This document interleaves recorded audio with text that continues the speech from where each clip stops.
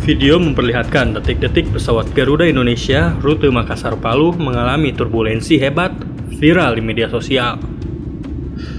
Video itu diunggah akun Instagram @ikaprastiwusos pada hari Senin 30 Mei 2022.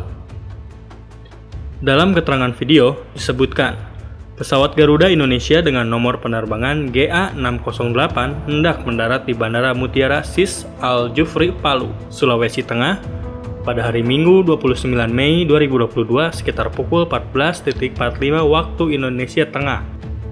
Namun, ketika ban pesawat hampir menyentuh landasan pacu, tiba-tiba pilot memutuskan untuk batal landing. Pesawat kemudian naik kembali berbelok ke arah kanan. Pada saat itu, pesawat mengalami turbulensi hebat hingga membuat penumpang menangis ketakutan.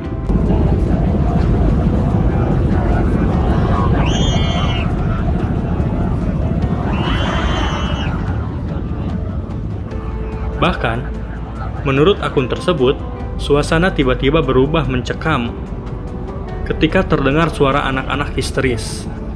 Akun Etika Prestigious juga menjelaskan pesawat gagal landing disebabkan angin puting beliung.